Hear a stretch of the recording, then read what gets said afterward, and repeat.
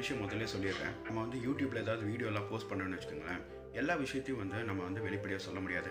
இந்த மேடை நாகரிகம் அப்படின்னு சொல்லக்கூடிய ஒரு விஷயம் இருக்கு இல்லையா?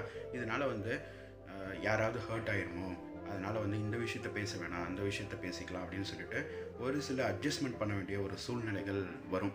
சரிங்களா? பெரும்பாலும் நான் அதை வந்து அந்த அப்படி ஒரு சூழ்நிலைக்கு நான் தள்ளப்பட மாட்டேன். பட் இருந்தாலும் அந்த மாதிரி ஒரு சூழ்நிலைகள் வரும். ஆனால் இந்த காணொளியில் வந்து நான் வந்து அப்படியே பேச போகிறேன் எனக்கு என்ன தோணுதோ அதை நான் அப்படியே சொல்ல போகிறேன் இதனால் வந்து எனக்கு சப்ஸ்கிரைபர்ஸ் கவுண்ட் கம்மியானாலும் பரவாயில்ல. இல்லை என்னை வந்து பிளாக் லிஸ்ட் பண்ணாலும் பரவாயில்ல. எனக்கு அது எந்த பிரச்சனையும் கிடையாது. ஏன்னா ஒரு இந்தியனா ஒரு இந்திய நாட்டின் குடிமகனாக ஒரு இந்திய பிரஜையாக நான் இந்த விஷயத்தை வந்து முற்றிலும் நான் உங்ககிட்ட ஷேர் பண்ணும் அப்படிங்கிறது வந்து எனக்கு தோணுது. நேற்று நாயிட்ட காணொலியில் வந்து நம்மளோட சப்போர்ட் வந்து தெரிவிக்கணும். சோஷியல் மீடியா ஃபுல்லாக இந்த விஷயத்தை ஷேர் பண்ணுங்கள் அப்படின்னு நான் சொல்லியிருந்தேன்.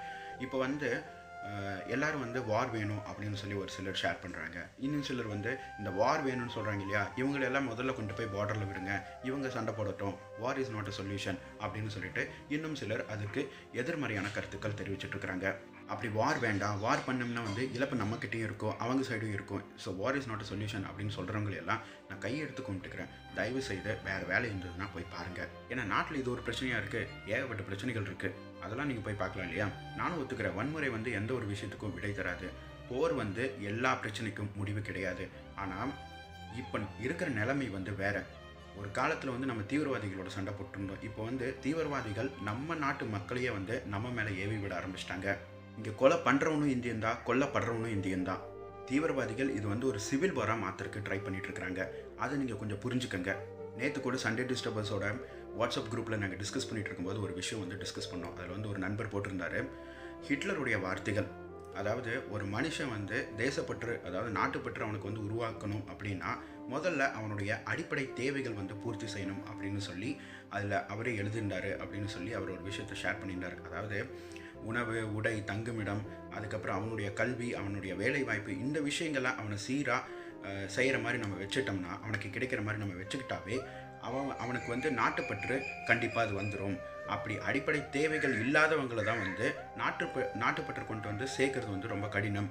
இந்த மாதிரி மனிதர்களை தான் வந்து தீவிரவாதிகளோ இல்லை மற்றவங்களோ வந்து நம்ம நாட்டுக்கு எதிராக பயன்படுத்திக்குவாங்க அப்படின்னு சொல்லி அவர் சொல்லியிருந்தாரு அப்படின்னு சொன்னாங்க. இதுதான் வந்து இன்றைக்கும் அது நடந்துகிட்ருக்கு இப்போ என்ன காஷ்மீரில் போய் அந்த இளைஞர்களுக்கு என்ன வேணும் அந்த மக்களுக்கு என்ன வேணும் அந்த மாதிரி அடிப்படை தேவைகள் அவங்களுக்கு என்னென்ன வேணும் அப்படிங்கிறது வந்து கேட்டு தெரிஞ்சு அவங்களுக்கு பூர்த்தி செஞ்சிட்டோம்னா இன்னும் தீவிரவாதிகளுக்கு அவங்க உதவி செய்ய மாட்டாங்க இல்லையா?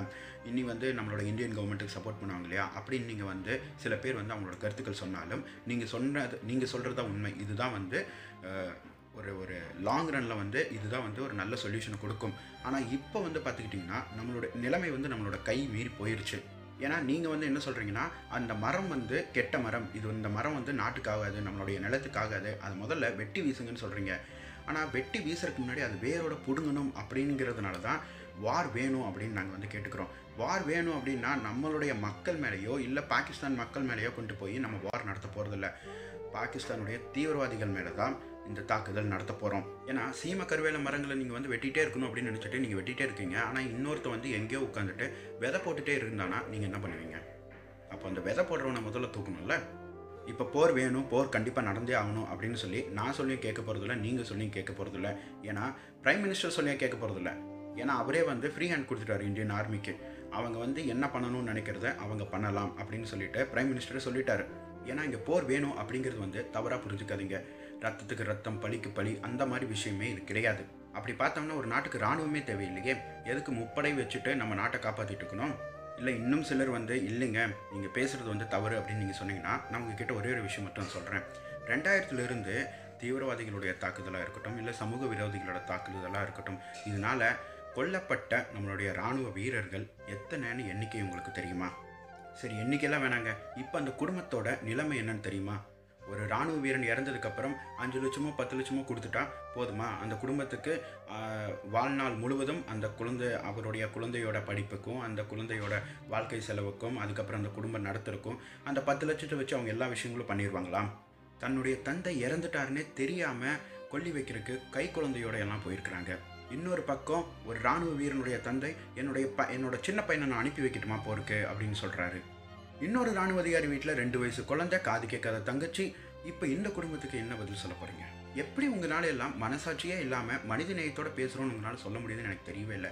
எங்கெந்தடா வர்றீங்க நீங்கள்லாம் அமெரிக்காவில் தீவிரவாத அட்டாக் நடந்ததுக்கப்புறம் அந்த நாட்டில் உள்ள ஒவ்வொரு ஸ்லீப்பர் செல்ஸையும் தூக்குனாங்களா இல்லையா? இதுக்கப்புறம் அந்த நாட்டுடைய பொருளாதார வளர்ச்சிக்காகவும் அந்த மக்கள் வளர்ச்சிக்காகவும் அவங்க வந்து இப்போ வேலை செஞ்சுட்டு இருக்கிறாங்களா இல்லையா? இல்லைங்க இதெல்லாம் வந்து அரசியல்வாதிகள் செய்கிற சரிதான். அரசியலுக்காக தான் எல்லா விஷயங்களும் பண்ணுறாங்க அப்படின்னு நீங்கள் சொன்னீங்கன்னா நான் உங்களுக்கு ஒரே ஒரு விஷயம் சொல்கிறேன் பார்டர்லேருந்து காவலுக்கு நின்றுட்டு இருக்கிற பாதுகாப்பு காவலாளிகளை கூட அவங்க சுட்டு கொண்டிருக்கிறாங்க சரிங்களா? இப்போ அடுத்தது நேரம் நம்ம வீட்டுக்குள்ளே வந்து நம்மளை தான் சுட்டு கொள்வானுங்க. இல்லைங்க நாங்கள்லாம் வந்து தேசப்பிதா மாதிரி தான் பேசுவோம் அப்படின்னு நீங்கள் சொன்னீங்கன்னா உங்களுக்கெல்லாம் நான் ஒரு சஜஷன் தரேன். கூட கூட மெழுகுத்தி வாங்கி வச்சுக்கோங்க. நாளையிலேருந்து வருஷத்துக்கு நாலு தடவை இந்த மாதிரி ஒரு விஷயம் நடக்கும். ஒவ்வொரு மெழுகுத்தியாக பற்ற வச்சு உங்களுடைய வருத்தத்தை தெரிவிச்சுக்கோங்க. சரிங்களா? நன்றி.